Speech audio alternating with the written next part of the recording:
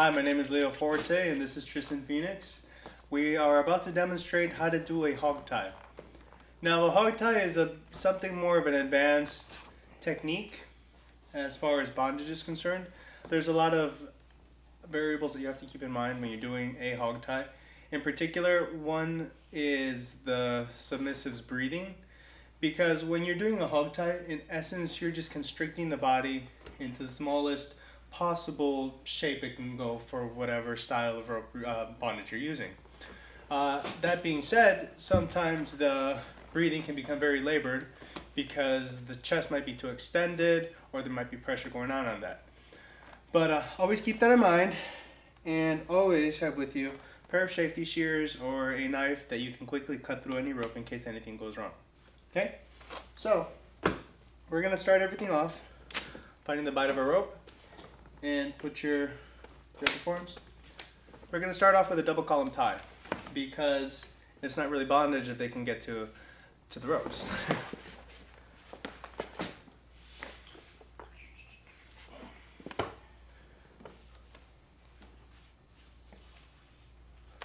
Alright, now what I'm going to do is I'm going to go around the two columns three times to give ample displacement of tension and weight on the skin so that not too much is going on in one particular uh, one particular area. That tends to cause a little bit of rope burn. So uh, make sure that you are always looking out for your submissive. Uh, make sure to check in with them. Look for certain signs on the skin that are going to tell you how things are going. Uh, specifically look for color change in the extremities and in someone with a darker skin like myself. Uh, you will always want to check the capillary refill, which is when you push down on the, on the fingernails and the amount of time it takes back for the fingernail to turn red again should indicate whether or not they've got really good blood flow. Now,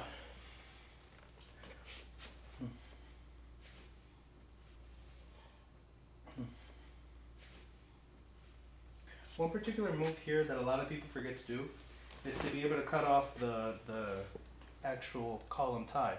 Because I could leave it like this, but it's just two hands inside of a sleeve. So what I do is I take my two ropes, I cross them, and, open your hands, I create a cinch between the two between the two arms so that the hands don't slip out as easily. Now the only real knots that we're going to be using are going to be square ties.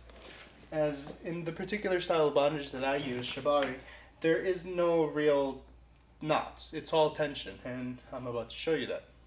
So make a regular box knot right there just so it doesn't go anywhere.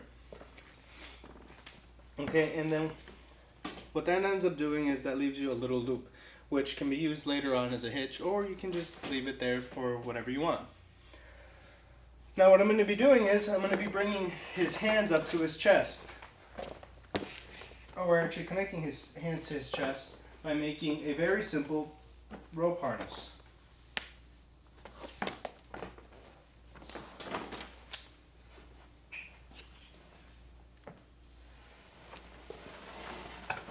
And like I said, everything is based on tension. So I'm creating a new bite right here, which holds the tension of the chest.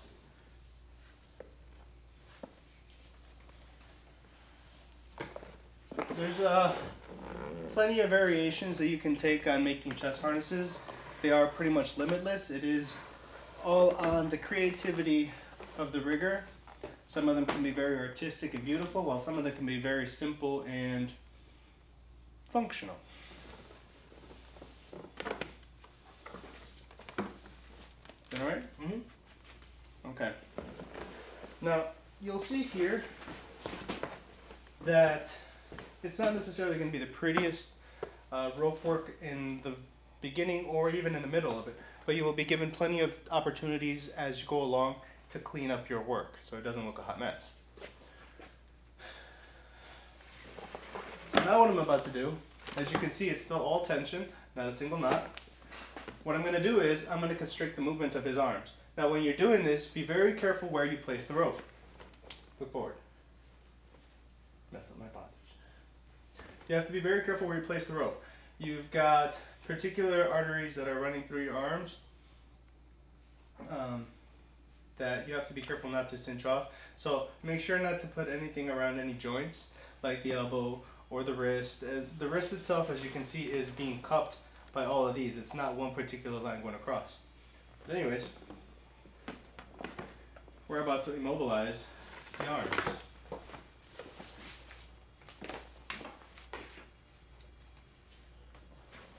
A lot of times if you're working with someone who has a very nice build, they'll already have these preset grooves around the bicep and the tricep areas. Maybe we'll take that back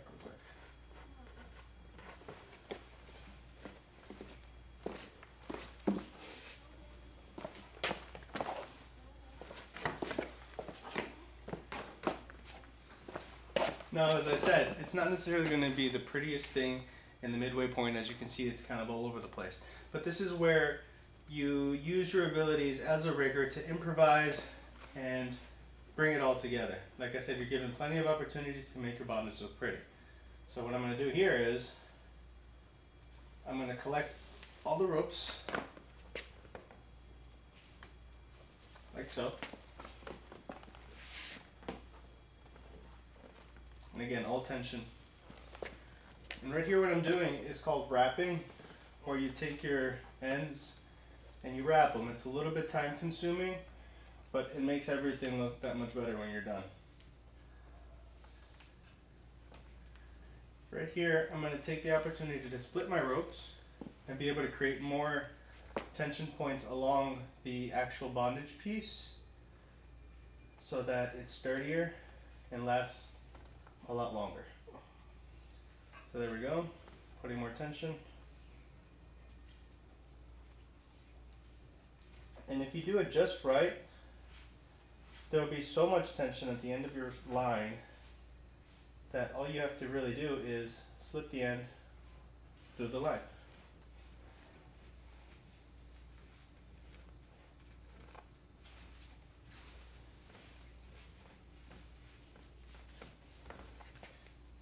How's it going?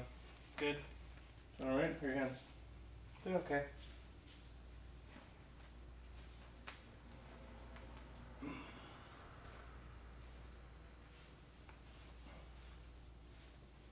As you can see, it's now starting to come together.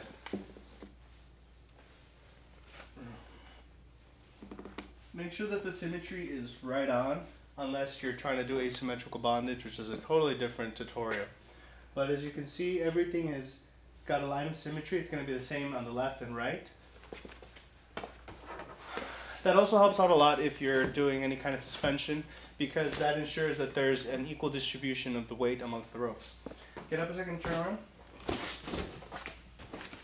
As you can see, the chest harness itself is very simple. It's just one line going across the chest and two going across the shoulders. Thank you. Just to put everything together. Make small adjustments if you have to. Alright, sideways.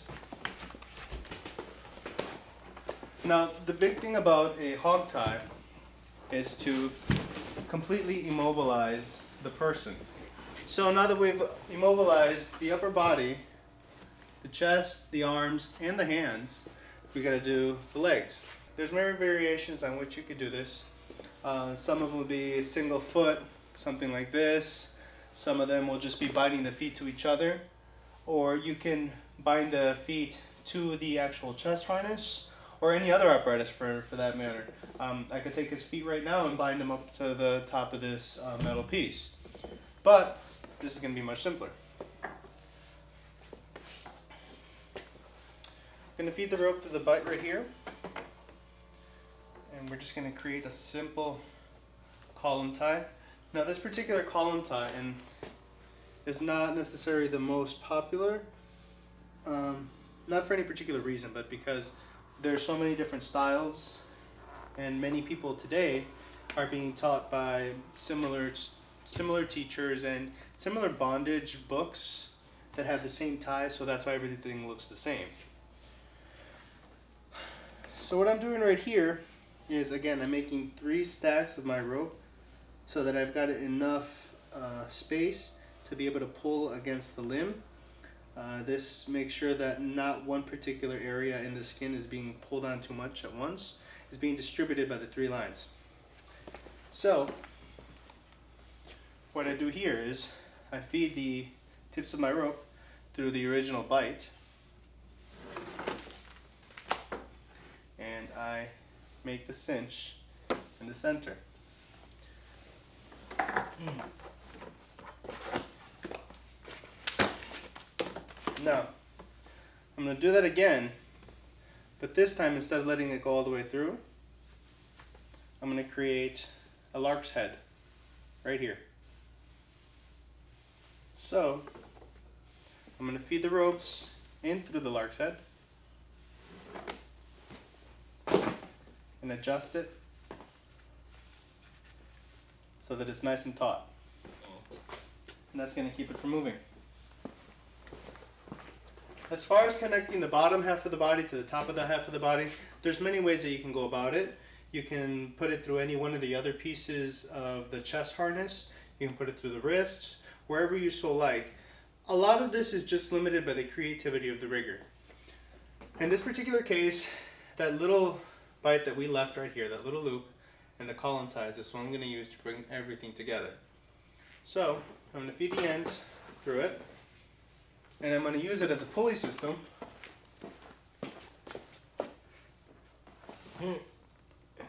to bring the top and lower body together.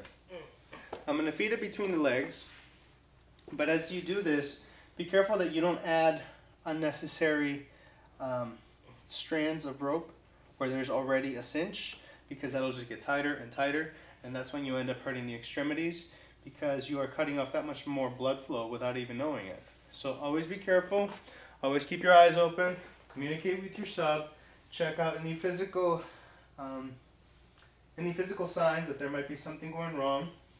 Uh, check in with the hands, capillary refill rate, look at the skin, see that? It's taking a little bit uh, more time to come back to its original color. So that just keep in mind that that means you've got a limited amount of time going up. So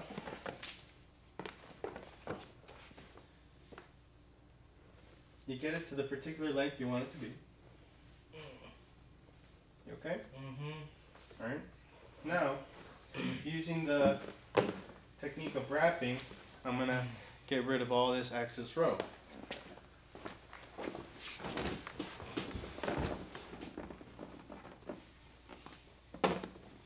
And again, like I said, it's what makes it look neater, uh, better put together.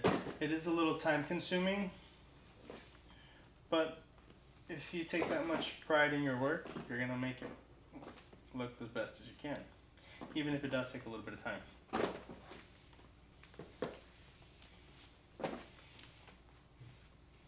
Okay, I'm getting down towards the end of my rope, and what I have to think about is when to stop wrapping and split my lines. Split the lines just means open up the two sides. So I'm gonna do it right about here. I'm gonna feed the line in the middle to create tension right there. And I'm going to split the lines to make another square knot to close it all off. And as I said, you don't necessarily use knots in bondage, at least in this particular style, uh, unless it's to close it off. And in this entire thing, we use two knots. We use one square knot for the wrists and one square knot here at the ends. Now, if you have something longer like this, you can just tuck it away Remember, there's enough tension in here that you can just slip the rope through and it's not really going to go anywhere. How you doing? I'm okay. Okay, he's doing fantastic. And this is a hog tie.